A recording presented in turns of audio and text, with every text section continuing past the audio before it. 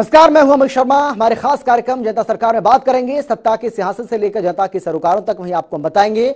सरकार की हर उस योजना के बारे में, जो होंगी आपके काम की, आपको हम बताएँगे। प्रदेश सरकार के उन विकास कार्यों के बारे में, जिनका सीधा फ़ायदा आपको हो रहा है तो अगले तीस मिनट तक आप बने रहिए हमारे साथ और देखते रहिए जनता सरकार।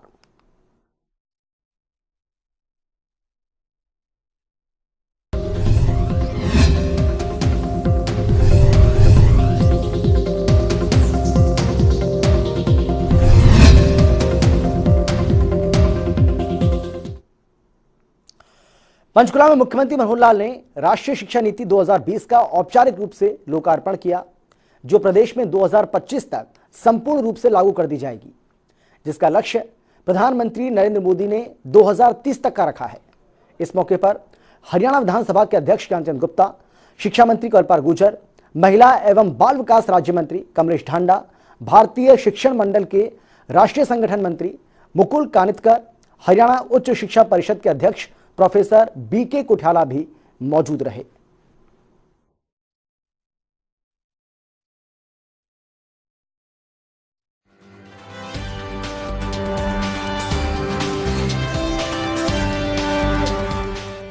हरियाणा सरकार ने प्रदेश में राष्ट्रीय शिक्षा नीति 2020 को साल 2025 तक सफल क्रियान्वयन सुनिश्चित करने की दिशा में एक और कदम बढ़ा दिया है, जिसके तहत सूबे के मुख्यमंत्री मनोहर लाल ने प्रदेश में औपचारिक रूप से राष्ट्रीय शिक्षा नीति 2020 का लोकार्पण किया। समारोह में हरियाणा विधानसभा के अध्यक्ष ज्ञानचंद गुप्ता, शिक्षा मंत्री कवलपाल गुर्जर, महिला एवं बाल विकास राज्य मंत्री कमलेश ढांडा, भारतीय शिक्षण मंडल के राष्ट्रीय संगठन मंत्री मुकुल कानितकर, हरियाणा उच्च शिक्षा परिषद के अध्यक्ष प्रोफेसर बी के कुठाला भी मौजूद रहे। पंचकुला में आयोजित राष्ट्रीय शिक्षा नीति 2020 के लोकार्पण समारोह में मुख्यमंत्री ने उपस्थित जनों और ऑनलाइन माध्यम से जुड़े शिक्षाविदों और विद्यार्थियों को संबोधित करते हुए कहा कि राष्ट्रीय शिक्षा नीति 21वीं सदी में क्रांतिकारी बदलाव लाने वाली है और इस शिक्षा नीति को 2025 तक पूरी तरह लागू किया जाएगा। हालाँकि इसको लागू करने की समय अवधि 2030 तक है, लेकिन हरियाणा इस लक्ष्य को पाँच वर्ष पहले ही हासिल कर लेगा। हमको अपनी शिक्षा नीति में सभी लोगों को मिलकर, चाहे वो शिक्षा शास्त्री हैं, अध्यापक हैं, बुद्धिजीवी हैं गणमान्य व्यक्ति हैं और आम जनता है, इन सबको मिल करके एक विचार मंथन करके जो ये नीति बनाई गई है, इसका पालन करना चाहिए, इसको आगे बढ़ाना चाहिए। शिक्षा नीति बन गई है। अब हम है। लेके चलना है, बढ़ना है, इनको अब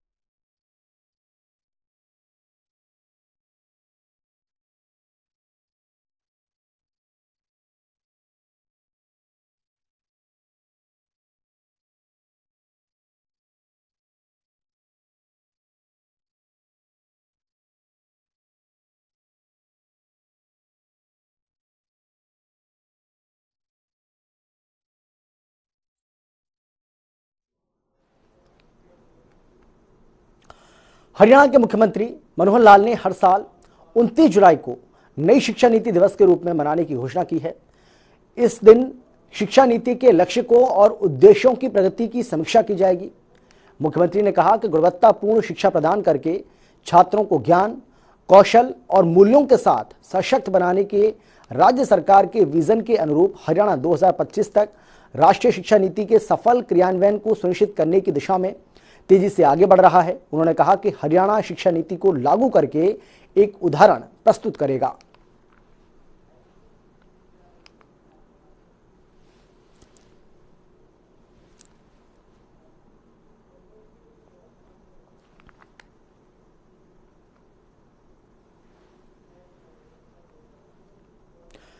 हिसार एयरपोर्ट का नाम महाराजा अग्रसेन अंतर्राष्ट्रीय एयरपोर्ट रखे जाने पर चंडीगढ़ में अखिल भारतीय अग्रवाल सम्मेलन की ओर से अभिनंदन एवं आभार कार्यक्रम का आयोजन किया गया, जहाँ आपको बता दें कि मुख्यमंत्री का आभार व्यक्त किया गया।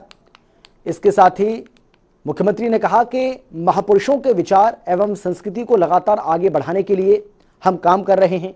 ऐसे लोगों की प्रेरणा से समाज सदैव अग्रसर होता है और यही वजह है कि महाराजा अग्रसेन के नाम पर इस एयरपोर्ट का नाम रखा गया है। इसके साथ उन्होंने कहा कि वर्तमान सरकार ने संतों और महापुरुषों के सुविचारों को आगे बढ़ाने और समाज को प्रेरित करने के लिए उनकी जयंती को राज्य स्तर पर मनाने का फैसला किया है। उन्होंने कहा कि प्रदेश के बड़े संस्थानों के नाम भी महापुरुषों के नाम पर रखे जा रहे हैं। इसी तरह हिसार के एयरपोर्ट का नाम भी महाराजा अग्रसेन के नाम पर रखने का निर्णय लिया है। मुख्यमंत्री ने कहा कि हिसार एयरपोर्ट पर दुनिया भर से लोगों का आवागमन होगा, जिससे कुछ लोगों को महाराजा अग्रसेन के बारे में जानकारी भी होगी। हमारे समाज के जो अग्रणी लोग हैं, जिनकी प्रेरणा से ये समाज लंबे समय से कुछ निश्चित विचारों को, संस्कारों को, अपने संस्कृति को लेकर के आगे बढ़ रहा है, ऐसे विचारों का, ऐसे संस्कारों का लगातार सम्मान होना चाहिए, स्मरण होना चाहिए। जब से शासन में हम आए हैं, सात वर्ष हो गए हमने हमेशा ही ऐसे संत महापुरुषों को ही सामने रख करके अपने शासन को चलाया है। और जब कभी किसी विशेष संस्थान के नाम रखने की बात आई, अगर वो करनाल के अंदर, हॉर्टिकल्चर यूनिवर्सिटी के नाम रखने की बात आई तो हमने किसी के पिता दादा को याद नहीं किया। अरे महाराणा प्रताप के नाम से उस यूनिवर्सिटी का नाम रखा। पलवल में यदि स्किल डेवलपमेंट की यूनिवर्सिटी के नाम रखने की बात आई तो हमने भगवान विश्वकर्मा के नाम से यूनिवर्सिटी का नाम रखा। जब ऐसे संस्थानों के नाम रखने की बात आती है तो महापुरुषों को हमेशा सामने रखना चाहिए। और जब एयरपोर्ट हिसार की बात आई तो उन महापुरुषों की कड़ी में बड़ा नाम, और जिसकी मांग भी थी समाज की ओर से, महाराज अग्रसेन जी के नाम से रखना चाहिए, ये मन में स्वाभाविक विचार था।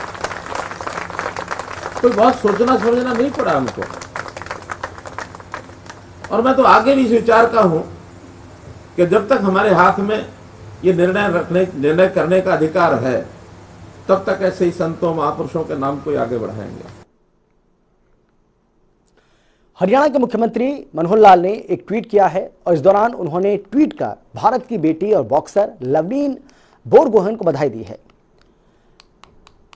ये ट्वीट आपको हम दिखा भी रहे हैं। जिसमें मुख्यमंत्री मनोहर लाल ने क्या कुछ कहा है, वो आप देख सकते हैं। मुख्यमंत्री ने उन्हें बधाई देते हुए कहा है कि उत्कृष्ट खेल प्रतिभा से देश के नाम को चार चाँद लगाएँ, ऐसी ही मंगल कामना मैं करता हूँ। भारत की बेटी व बॉक्सर लवलीना ने क्वार्टर फाइनल में चाइनीज़ बॉक्सर को हराकर टोक्यो 2020 में देश के लिए एक और मेडल सुनिश्चित करने पर हार्दिक बधाई एवं शुभकामनाएँ। आप अपनी उत्कृष्ट खेल प्रतिभा से देश के नाम को चार चाँद लगाएँ, ऐसी मंगल कामना मैं करता हूँ।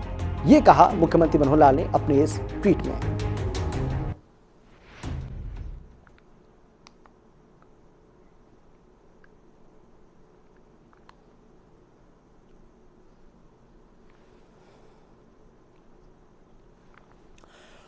हरियाणा राजभवन में शपथ समारोह कार्यक्रम का आयोजन किया गया। इस कार्यक्रम की अगर हम बात करें तो इसमें हरियाणा के राज्यपाल बंडारू दत्तात्रेय ने आनंद कुमार शर्मा को एचपीएससी सदस्य के पद पर निष्ठा और गोपनीयता की शपथ दिलाई। आनंद कुमार शर्मा अखिल भारतीय तकनीकी शिक्षा परिषद के निदेशक के पद पर कार्यरत थे। इस मौके पर मुख्यमंत्री मनोहर लाल भी मौजूद रहे। इस दौरान एचपीएससी के सदस्यों समेत कई गणमान्य अधिकारी मौजूद थे।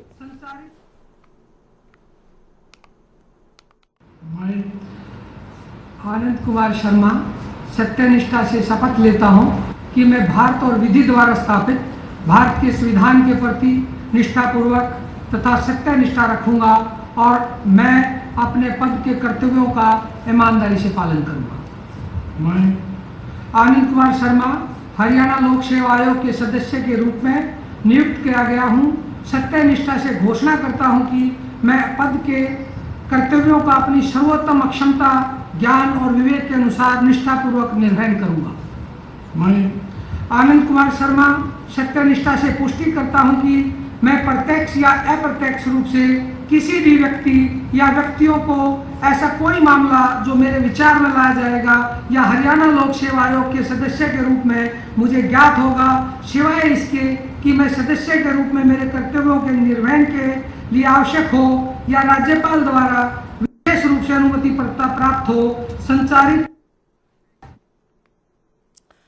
हरियाणा सरकार ने युवाओं को सरकार की कार्यप्रणाली से रूबरू करवाने के लिए internship policy for the state of Haryana नाम से एक इंटर्नशिप पॉलिसी तैयार की है। इस पॉलिसी के तहत राज्य सरकार कई विभागों बोर्ड और निगमों में प्रतिभावान युवाओं को इंटर्नशिप देने का मौका करेगी आ, मौका देगी और इसके साथ ही सरकारी विभाग में इन लोगों को इन युवाओं को इंटर्नशिप करने का मौका मिलेगा।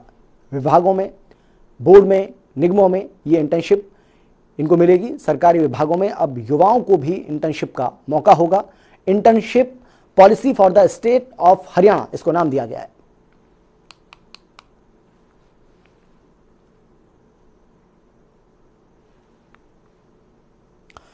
चलिए, खबरों में आगे बढ़ते हैं और अब हम बात करेंगे एक ऐसी योजना की जो सरकार की ओर से शुरू की गई है और छोटे और लघु जो उद्योग हैं, उनके लिए तो ये फ़ायदेमंद है ही। इसके साथ ही आपको हम बता दें कि उद्यम एवं रोज़गार नीति 2020 के तहत ये बड़ा फैसला हुआ है। बिजली आपूर्ति सुनिश्चित करने के लिए हरियाणा उद्यम एवं रोज़गार नीति 2020 के तहत पावर टैरिफ सब्सिडी योजना अधिसूचित की है। यह योजना पहली जनवरी 2021 से प्रभावी मानी जाएगी और सरकार की ओर से अधिकृत, यानी कि जो अधिक्रमित किए जाने तक प्रचालन ये चलती होगी। राज्य के डी श्रेणी खंडों में 40 किलोवाट और सी श्रेणी खंडों में 30 किलोवाट या उससे कम के कनेक्टेड लोड वाले सभी मौजूदा और नए सूक्ष्म एवं लघु औद्योगिक उद्यमों को बिजली टैरिफ सब्सिडी का लाभ मिलेगा। ऐसे उद्योगों को प्रति यूनिट दो रुपए की सब्सिडी दी जाएगी।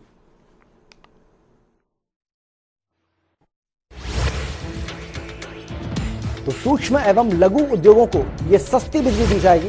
सरकार की ओर से यह बड़ा फैसला, बिजली विभाग की ओर से यह बड़ा फैसला। उद्यम एवं रोज़गार नीति के तहत पावर टैरिफ सब्सिडी योजना की अधिसूचना। जारी की गई है एक जनवरी 2021 से। यह योजना लागू मानी जाएगी। उद्योगों को दो रुपये प्रति यूनिट के हिसाब से सब्सिडी सरकार देगी। बी श्रेणी खंडों में 40 किलो वाट के हिसाब से बिजली मिलेगी, जबकि सी श्रेणी खंडों में 30 किलो वाट के हिसाब से बिजली मिलेगी। अंबाला में गृह और स्वास्थ्य मंत्री अनिल विज ने कई मसलों को लेकर अपना रिएक्शन दिया है। इस दौरान उन्होंने दिल्ली की सीमा पर चल रहे आंदोलन समेत कोरोना की संभावित तीसरी लहर को लेकर क्या कुछ कहा है, एक रिपोर्ट आपको हम दिखाते हैं। देखिए। हरियाणा के गृह एवं स्वास्थ्य मंत्री अनिल विज ने शुक्रवार को अंबाला में कई मुद्दों पर अपनी प्रतिक्रिया दी। इस दौरान उन्होंने दिल्ली की सीमाओं पर चल रहे आंदोलन को लेकर कहा कि आंदोलन के चलते राष्ट्रीय राजमार्ग बाधित है और व्यापारियों को काफ़ी नुकसान उठाना पड़ रहा है। ऐसे में आंदोलनकारियों को समझना चाहिए कि उनके आंदोलन से दूसरे लोगों की आज़ादी बाधित नहीं होनी चाहिए, क्योंकि ये भी प्रजातांत्रिक आंदोलन का मुख्य आधार होता है। किसानों को इस बात को समझना चाहिए। आंदोलन अपनी जगह है। पर आंदोलन से दूसरे आदमी को तकलीफ़ ना हो, उनकी आज़ादी बाधित ना हो, ये भी हर प्रजातांत्रिक आंदोलन का आधारभूत जो है, प्रिंसिपल होता है। वहीं जींद में सर्व खाप ने नेताओं की एंट्री को लेकर रणनीति बनाई है, जिसको हरियाणा के गृह मंत्री अनिल विज ने गलत बताते हुए कहा कि संविधान ने सभी को कहीं भी आने जाने का अधिकार दिया है। ऐसे में किसी पर रोक लगाने का फैसला सही नहीं है। नहीं ये गलत है। इस देश में हर आदमी को फ्रीली कहीं भी आने जाने का अधिकार संविधान ने दिया हुआ है। उस पर किसी को भी रोक लगाने का अधिकार नहीं है। वहीं कोरोना की संभावित तीसरी लहर पर गृह एवं स्वास्थ्य मंत्री अनिल विज ने कहा कि सरकार ने शहरी और ग्रामीण इलाकों में पूरी तरह से तैयारी कर ली है और ऑक्सीजन के मामले में हरियाणा आत्मनिर्भर प्रदेश बनेगा। हमने पूरी तरह से गाँव हो, चाहे शहर हो, हम पूरी तरह से तैयार हैं और हमने अपनी जो पहली दोनों लहरें आई हैं, उनके अनुभव से हमने सीखा है। ऑक्सीजन की कमी जो दूसरी लहर के दौरान आई उसके लिए हम पूरा प्रबंध कर रहे हैं। हमें 40 पीएसए प्लांट तो प्रधानमंत्री जी ने दिए हैं और एक पीएसए प्लांट्स हम खरीदने जा रहे हैं, जिसके टेंडर फ्लोट हो चुके हुए हैं और अगले हफ़्ते वो टेंडर खुलेंगे। जल्दी से जल्दी हम हर अस्पताल में अपना पीएसए प्लांट लगा देंगे। मैंने प्राइवेट अस्पतालों को भी कहा है कि वो भी अपने अपने ऑक्सीजन के लिए अपने अपने पीएसए प्लांट लगाएँ। और मुझे पूरा भरोसा है कि ऑक्सीजन के मामले में हरियाणा आत्मनिर्भर बनेगा। इसके साथ ही हरियाणा में स्वास्थ्य विभाग में ठेकेदार के तहत काम कर रहे कर्मचारियों को तनख्वाह न मिलने के मामले पर स्वास्थ्य मंत्री अनिल विज ने संज्ञान लेते हुए कहा कि इस मामले में जाँच करने और तनख्वाह न देने वाले लोगों के खिलाफ सख्त एक्शन के आदेश दिए हैं। मैंने आदेश दिए हैं कि इसकी जाँच करके जिन लोगों ने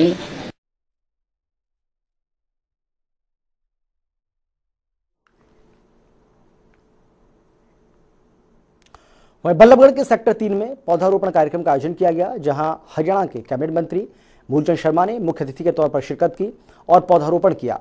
इस दौरान उन्होंने पत्रकारों से बातचीत करते हुए लोगों से पौधारोपण करने और उनकी देखभाल करने की अपील की। इसके साथ ही उन्होंने आंदोलन को लेकर कहा कि आंदोलन में कुछ नकापोश घुस गए जो दूसरे दलों से संबंध रखते हैं। ऐसे उपद्रवियों के खिलाफ सख्त एक्शन लिया जाएगा। वहीं कैबिनेट मंत्री मूलचंद शर्मा ने कहा कि बल्लभगढ़ में अपराधियों की जगह नहीं है। जो भी अपराधी है, उनको नीम का जेल भेजा जाएगा। किसी भी सूरत में गुंडागर्दी बर्दाश्त नहीं की जाएगी। जो वन महोत्सव चला हुआ है, सावन का महीना है, और पहले भी प्रदेश के मुख्यमंत्री मनोहर लाल जी ने अपील करी कि ज़्यादा से ज़्यादा पेड़ लगाएँ, और जो ऑक्सीजन के जो हालात देश और दुनिया ने सबने देखे हैं, और बल्लौर जैसी विधानसभा में सबसे ज़्यादा पेड़ लगने चाहिए, और सबसे ज़्यादा टर्बैनी लगनी चाहिए। उसकी शुरुआत हमने पहले करी थी। ये नया स्कूल हमारा बना है। Girls girls senior secondary school है सेक्टर तीन में। हमने चाहे सामुदायिक भवन हो, या सेक्टर की डिवाइडिंग रोड हो, या पार्क हो, या दूसरे नहर के किनारे हो, उन सब पे ज़्यादा से ज़्यादा पेड़ों के बयान। और हमारा टारगेट है कि कम से कम अपनी विधानसभा में अठारह बीस हज़ार पेड़ हम तब तक पूरे विधानसभा में लगाएँगे, और उनकी तीन साल, उनकी देखभाल भी करनी है। लगाना नहीं हमारा फ़र्ज़ है। हमें कोई वर्ल्ड रिकॉर्ड नहीं करना, भाई हमने इतने पेड़ लगाए। उनके साथ साथ उनकी रक्षा करना, उनकी देखभाल करना और हम सबका फ़र्ज़ है, ये नहीं कि सरकार का है। चाहे कोई टीचर है, चाहे दूसरे क्षेत्र में, सरकारी क्षेत्र में है, या सामाजिक, धार्मिक संगठन है। और मैं सामाजिक, धार्मिक अंश से एक विनती करूँगा, आप कीर्तनों में इनमें ज़्यादा नहीं करें।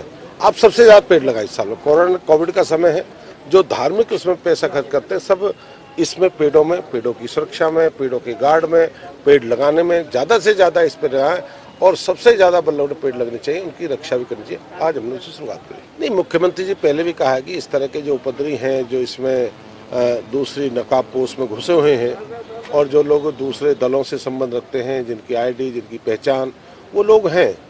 तो ऐसे लोगों के खिलाफ मुख्यमंत्री बार बार कहा, ऐसे लोगों के खिलाफ पर्चा दर्ज होगा। और सरकार सख्ती के साथ ऐसे लोगों के खिलाफ कार्रवाई करेगी, जो प्रदेश के हित में नहीं है, आज व्यापार के हित में नहीं है, आम आदमी ने ऐसे लोगों के खिलाफ अगर कहीं भी कोई मिलती है, इसके खिलाफ पर्चा दर्ज चाहिए। और कोई सरकारी मुलाजिम भी इस आंदोलन है उसके खिलाफ सस्पेंड कर, मुकदमा दर्ज के भीतर डालें। हम बल्लगढ़ में एक ही बात की थी, मैं चुनाव में आज भी कह रहा हूँ। या तो बल्लड़ की धरती पर क्राइम करने वाला अगर मेरी दाम में आ गया तो नीमके की जेल सतान बल्लड़ की सथली कोई सतान नहीं है। चाहे छः महीना में, चाहे दो महीना में, चाहे साल में कितना बच जाएगा। पर जाना नीम की जेल अवश्य पड़ेगा। हरियाणा के सहकारिता मंत्री डॉक्टर बनवारी लाल ने बावल खंड के नगली परसापुर गाँव में विकास कार्य का उद्घाटन किया।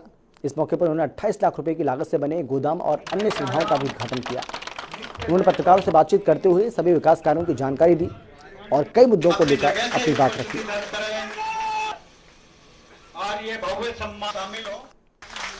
सम्मान में भी शामिल हो। सहकारिता विभाग द्वारा नंगली परिसर टैक्स के अंदर एक गोडाउन और सोलर सिस्टम और टॉयलेट वगैरह और चार दीवारी का काम हुआ है और इसका उद्घाटन करने के लिए आज और इस काम में सत्ताईस लाख साढ़े सत्ताईस लाख के करीब इसमें खर्चा हुआ है। और इस टैक्स में अच्छा काम किया है और उन्होंने कर्मचारियों को जिन्होंने अच्छा काम किया उसके लिए प्रोत्साहन राशि भी एक लाख इकतीस हज़ार रुपये की राशि भी दी गई है। और कुछ सेल्फ हेल्प ग्रुप ने भी अच्छा काम किया है। उनको भी प्रोत्साहन राशि दी गई है और इससे उनका मनोबल भी बढ़ेगा और दूसरे लोगों को इंस्पिरेशन भी मिलेगी कि भाई वो लोग अच्छा काम कर रहे हैं और सरकार उनको प्रोत्साहन कर रही है। तो एक अच्छा मैसेज आएगा और हमारा जो ये सहकारिता विभाग है, आपको पता है कि ये सहयोग से चलता है और जो आत्मनिर्भर भारत का जो माननीय प्रधानमंत्री जी ने एक सपना देखा है, वो इस सहकारिता विभाग द्वारा ही पूरा किया जा सकता है। और हमने विभाग से कहा है कि हमें ज़्यादा से ज़्यादा हेल्प ग्रुप को बढ़ावा देना है, ताकि ये अपना उनका काम कर सकें और आजीविका कमा सकें। देखो, ये इसमें नाबार्ड से भी सहायता मिल रही है और जो एक लाख करोड़ रुपए की जो एक प्रोविज़न किया है, उसी के तहत हमारे जितने भी पैक्स हैं उनको सभी को कंप्यूटराइज की प्रक्रिया चल रही है और सारे के सारे जितने भी पैक्स हैं, उनको कंप्यूटराइज किया जाएगा ताकि जो पैक्स में जो हाथ से काम होता था, उसमें गड़बड़ियाँ ज़्यादा होती थी और एक ट्रांसपेरेंसी आएगी और लोगों में जो पैक्स के ऊपर एक विश्वास जमेगा और ज़्यादा से ज़्यादा कारोबार होगा।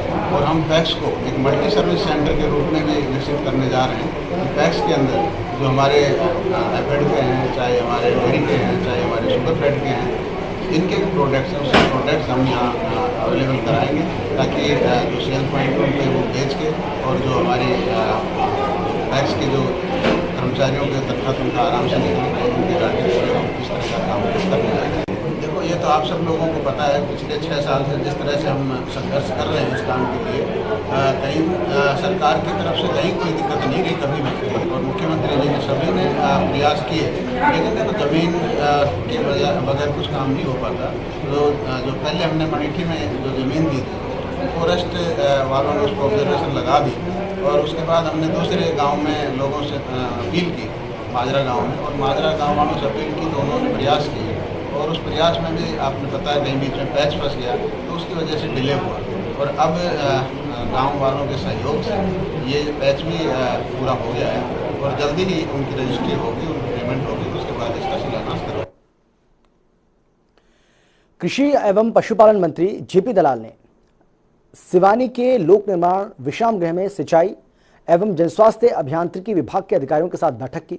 इस दौरान उन्होंने शिवानी की सीवेज व्यवस्थाओं को दुरुस्त करने का अधिकारियों को निर्देश भी जारी किया।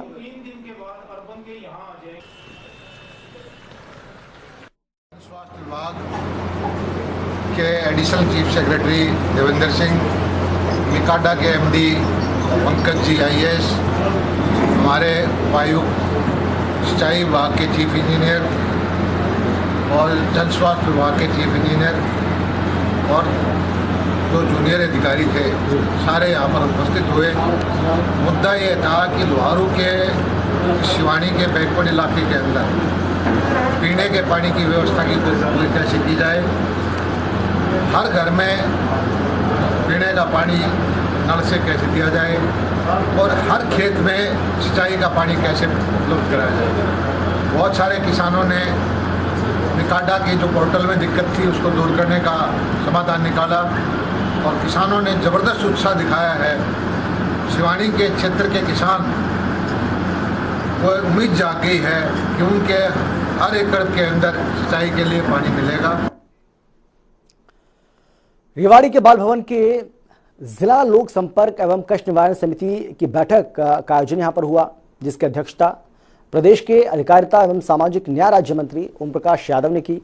इस बैठक में कुल 29 शिकायतों राज्य मंत्री ओम प्रकाश यादव ने सुना है, जिनमें से कई शिकायतों का मौके पर ही समाधान कर दिया गया और कई शिकायतें बची और उनका समाधान करने के लिए संबंधित अधिकारियों को निर्देश दिए गए।